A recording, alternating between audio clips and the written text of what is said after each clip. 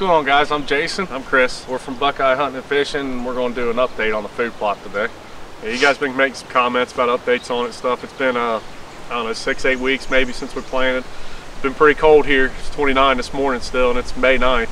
It's kind of odd for us, but it's, it's still been pretty cold. So it's not up like we'd like, but it, it's doing pretty good. So we'll give you some video on it and talk about it a little bit. We do got I mean, we knew we had grasses in these food plots and we've been fighting them for years.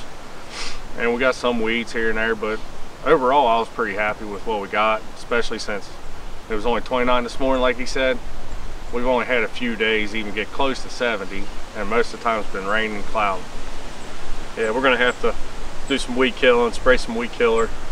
We're do Whitetail Institute's herbicide and the Arrest Max. We'll do a video on that and how we do it and everything. But we'll take you through, show you what clovers are growing, chicory. We got kale growing in the other part of the food plot over there. We got plans. We're gonna till up a little bit of the new one, replant some. We're gonna put some power plant in, which Jason knows better what it's got in it. It's got sun hemp in it. It's got sunflowers, vining beans, and vining peas. The sunflowers are in there for all the vines to grow up, but it's something that gets big and makes a lot of tonnage for the deer. We're real interested in trying to do it. We're just gonna take one little section, just try it this year. So we'll keep you updated with it. Here's one of our older food plots. It came in pretty good. We, we tilled it and planted it again this year. It came in really good. If you look close, you can see there's a lot of clover in there. There's a bunch of chicory too, but it's kind of hard to see with all the weeds. Unfortunately, the weeds are really thick, so our plan is to spray it with a herbicide, trim it here in a couple weeks, try to clean this up. Food plot looks real good up through here. A lot less weeds. Looking pretty good. Here's, here's some chicory. Here's a good piece of chicory. There's a bunch of it growing if you look.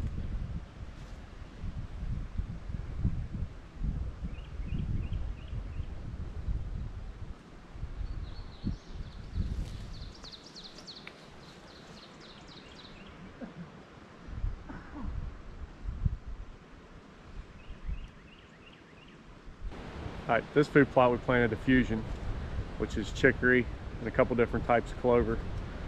So if you look real close here, you can see these taller little thin clovers. I'm not sure what they are. I'm gonna look them up when I get home. Then they have white clover in there. A little bit of white clover right there. They had red clover in it, but I don't see any close. Yeah, this looking pretty good. Hi guys, this section of this food plot we planted Chic Magnet over to about those stumps right there. Which is not as green here. The chicory's a little bit different type plant, so you can see it's coming up. It's coming up pretty good. It's, it's kind of spotty. Looks like it washed a little bit in the rain. But it's coming up pretty good. It's all down through there last time we planted, last time we had a good food plot here was they love the chicory, so we want to see what they do with just all chicory. And then you got over whole this whole hillside over here, it looks like green carpet. We planted the division, which is chicory, clover, kale. Over and give you a little, little view of that.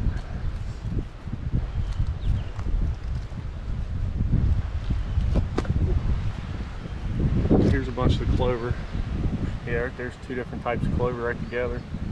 There's a little piece of kale. There's a couple little more pieces of kale. Some of the kale on this far side's up pretty good. It's up about a foot. Overall, this one's doing pretty good. Here's some big kale. Some good kale there, there, there. Clovers looks pretty good. Like we said in our video, we're gonna try that power plant. I think we're gonna stay toward the top of this hill because as you can see, it's pretty steep. Tilling this is a little interesting, so we might run it up through here.